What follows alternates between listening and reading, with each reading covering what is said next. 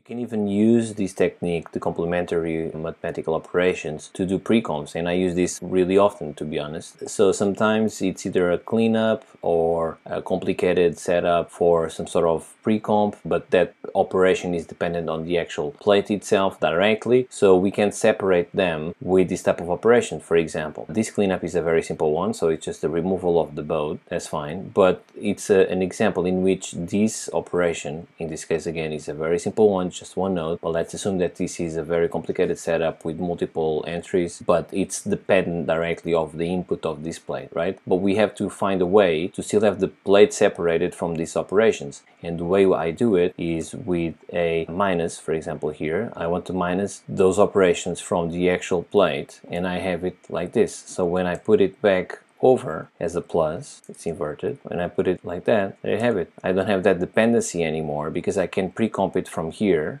from this minus and then I add it with a complementary operation. Sometimes the minus plus doesn't work for me for some reasons. It has to do with exactly what I'm taking and what's the nature of the work that I did. So if the minus plus doesn't work, I use the divide multiply. But this is a great way to separate whether it's just small paint jobs or if it's something really complicated, a pre-comp that is dependent directly on your input. This is a great way of separating them and then you can pre-comp it from here. This will always be something as an external kind of a thing and is to work still as your pre-comp. Hope this makes sense and again minus, plus or divide, multiply in other cases.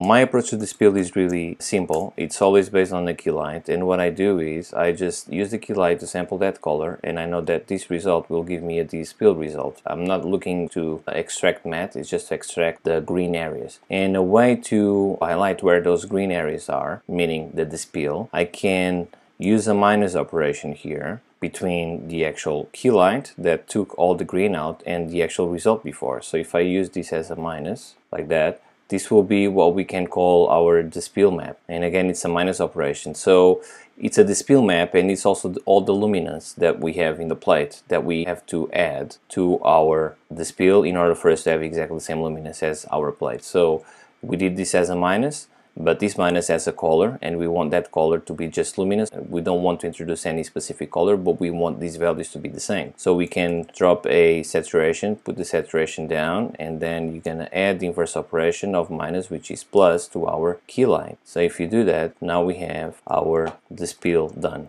in this example, I'm doing the, the despill on a denoise plate, which is how it should be, because if you don't do it on the despill plate, even if not matching the luminance, you know that you don't have like many artifacts or any artifacts at all. Look what happens if you put this on a plate with grain we're gonna have all these artifacts that are really nasty and it's gonna give you all these sort of problems. So of course if you mix the luminous the artifacts will be less visible but depending on what you do with the luminous if you take this down quite a lot because if you need you start revealing some of these problems. And you don't have the same issue when you do this on always on the denoise plate. Those problems will go away and we can always recover the original grain to put on top but we're going to take a look at that as well because it's also uh, complementary basic math operation that we need to, to use for that. But be aware of this uh, detail because it's important. Minus plus.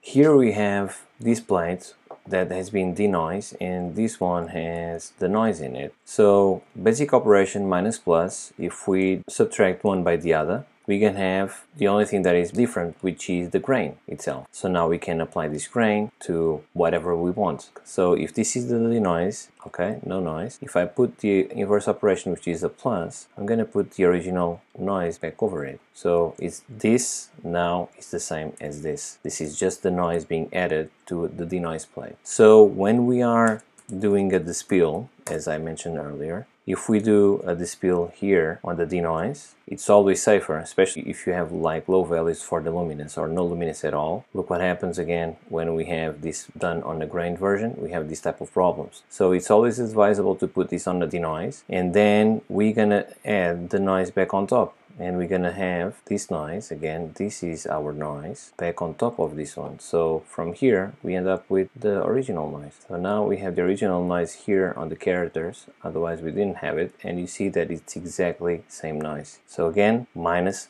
plus. Situation I have this plate and I have a clean plate. If you divide one by the other and then use the complementary operation which is a multiply. If you multiply now this over a background you're gonna have your additive okay? Any background. There you go.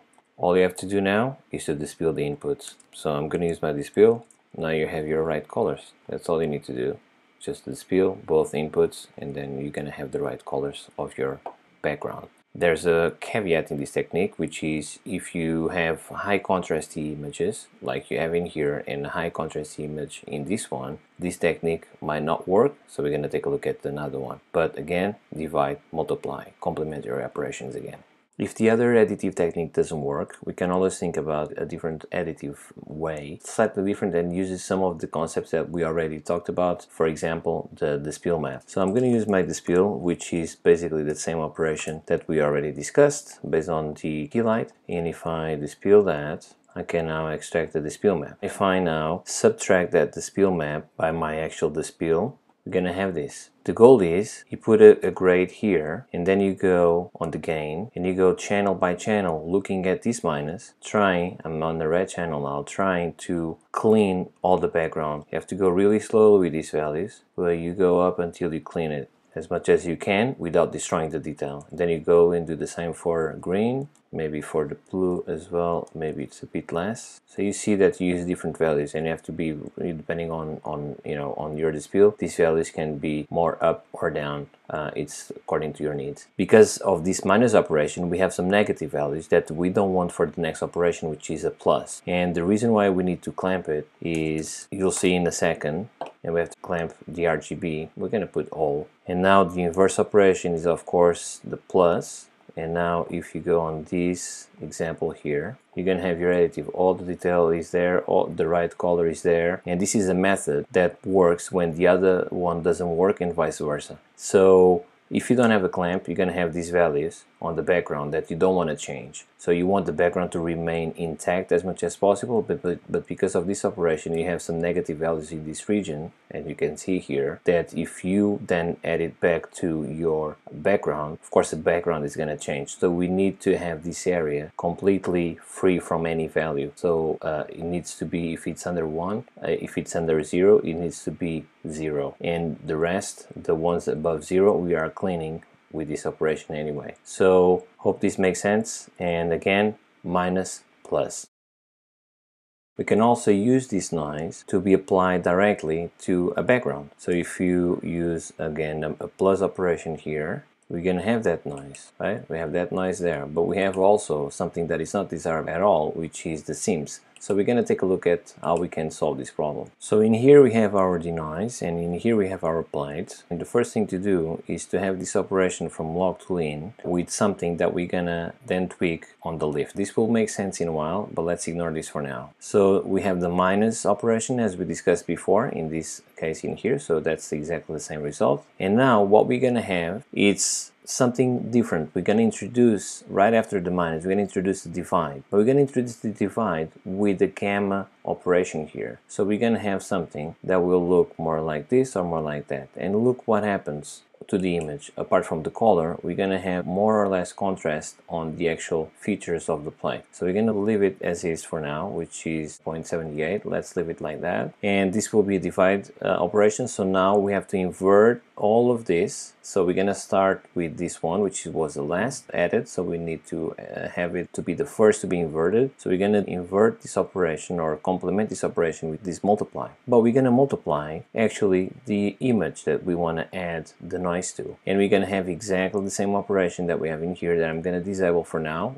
Uh, it will all make sense in a while. And we're going to have also a gamma that has to have the same value that we have there. So they're linked. So now we have the divide, which is again the plate by the denoise plate. And we now divide that result by the denoise with a gamma applied. We're going to have the same, which is that result of that division is going to be then multiplied by the plate with also that gamma added in its input. So if we have this, and now if you change the gamma, and this is the master, because the gamma of these two again is the same, so when you go up and down with the gamma, you'll see that you have more or less contrast of those features. So this is what's happening in here. And now we have just one operation left to be inverted which is the minus for a plus so we're gonna have this result from the multiply to a plus here directly to our plate so now if you add the grain into our background you'll see that the grain is being added like that because it's it has been neutralized in terms of seams as much as possible by the fact that we have this this gamma. So if you go up and down you see that there's a sweet spot in which you start seeing the seams. So here we start seeing the seams so you have to go down with the gamma so they don't become so apparent. You go and you tweak that to the best of your ability. And then these ones here are are here because they can help you out. So if you go more up and down you'll see this is not a best example but sometimes some of the pixels they get like really crazy. For example this type of stuff. Sometimes if you have things like this this is when this one will help you out. And you can you can tweak this uh, with different channels. So you, you, can affect more the reds and the greens in different ways. And this is how you do it. Uh, so again minus plus divide multiply for grain. A bit more convoluted I know but you can turn this one into a tool or into a setup. You don't need to do it all the time